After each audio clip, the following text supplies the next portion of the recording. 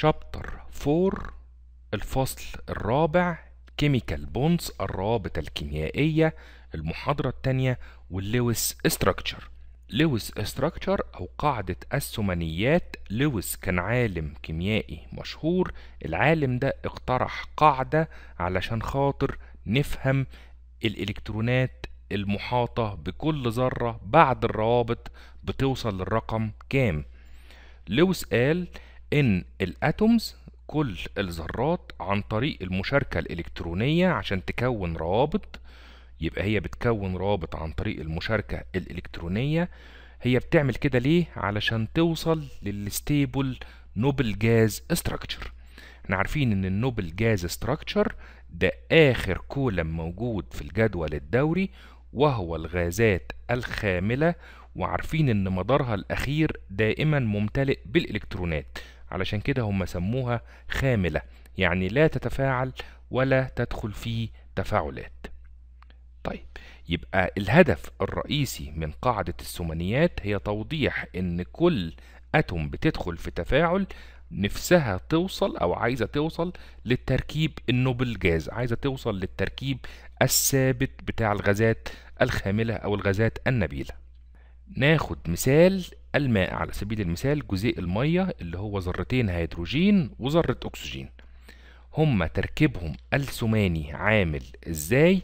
آدي ذرة الأكسجين حواليها ست إلكترونات نعدهم واحد اتنين تلاتة أربعة خمسة ست إلكترونات. ومشاركة مع الهيدروجين بإلكترونين كمان. آدي إلكترون من الهيدروجين وآدي إلكترون من الهيدروجين. هل هي كده وصلت لقاعدة الثمانيات تعال نعد. هي كان فيها واحد اتنين تلاتة أربعة خمسة ستة. دلوقتي بعد ما عملت مشاركة مع ذرتين هيدروجين بقى فيها كام؟ بقى فيها كمان إلكترونين زيادة. زائد الستة يبقى هي كده وصلت للتمانية في المدار الأخير. وده تركيب أقرب غاز خامل لذرة الأكسجين. طيب ذرة الهيدروجين هل وصلت لقاعدة الثمانيات هل اكتمل المدار الأخير بتاعها؟ أيوة اكتمل المدار الأخير بتاعها عن طريق المشاركة دي. الهيدروجين أقرب تركيب غاز خامل ليها هو الهيليوم والهيليوم فيه إلكترونين بس في المدار الأخير. يبقى الهيدروجين اكتمل المدار الأخير بتاعه والأكسجين كمان اكتمل المدار الأخير بتاعه. تعال نشوف الهيدروجين عندوش غير إلكترون واحد. في أول orbital 1s1 يعني ما عندوش غير الكترون واحد الأكسجين 1s1 2s2 2p4 يبقى الإلكترونات بتاعة المدار الأخير عددهم ستة إلكترونات المدار الأخير عددهم واحد الستة عايزة توصل إلى التمانية والواحد عايز يوصل إلى الاتنين وده مش هيتحقق غير لما نعمل two bond pair ربطتين و two lone pair على ذرة الأكسجين. ال bond pair دي الإلكترونات بتاعة الرابطة. bond يعني رابطة و pair يعني زوج يعني زوج إلكترونات الرابطة. طيب عندنا نوع تاني من أزواج الإلكترونات؟ أيوه ال lone pair. ال lone يعني الإلكترونات الموجودة في حالة مفردة يعني اللي ما عملتش رابطة. ناخد مثال تاني. 1 bond pair بالمناسبة 1 bond pair معناها 1 single electron يعني كل إلكترونين بيعملوا لي رابطة كيميائية واحدة. طيب ناخد مثال تاني.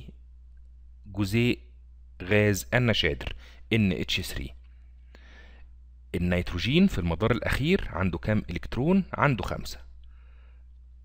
آدي الهيدروجين عنده إلكترون واحد بس في المدار الأخير وعشان نطبق عليه نظرية الثمانيات لازم نوصلهم اتنين. والنيتروجين اللي تركيب 1s2 2s2 2b3 عشان نوصله للمدار الأخير هو عنده خمسة في مداره الأخير عشان نوصله لنظرية الثمانيات لازم نكمله لتمانية يبقى هو ناقصه كده تلات إلكترونات.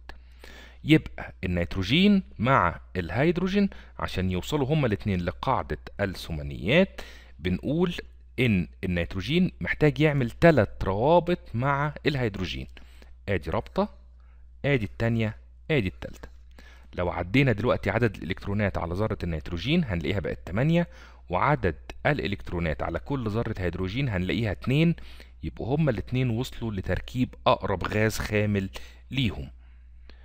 عندنا في الأمونيا جزيء الأمونيا أو جزيء غاز النشادر there are 3 bond pair عندي ثلاث روابط واحد اتنين تلاتة وعندنا 1 lone pair اللي هو زوج الإلكترونات المزدوج الغير داخل في أي تفاعل.